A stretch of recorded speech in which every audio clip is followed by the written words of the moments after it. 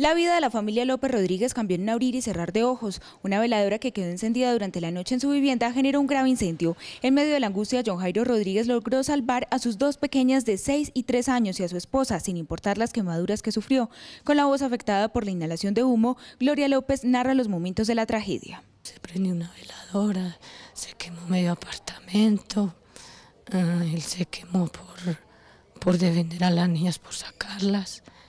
Entonces fue como tragedia.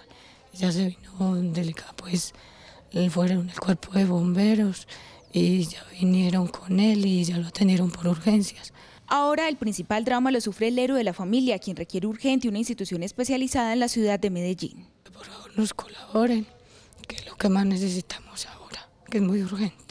El paciente permanece en la actualidad en la clínica San Juan de Dios de la Ceja con afectación en las vías aéreas y un 25% de su cuerpo afectado. Fue ingresado a la unidad de cuidados intensivos, ha sido evaluado por cirugía plástica en todo lo que la clínica tiene la disponibilidad de ofrecerle al paciente, pero por su compromiso de vía aérea el paciente debe estar en un área de quemados y unidad de cuidados intensivos. En menos de un mes, ese es el segundo incendio estructural que se registra en el municipio de La Ceja.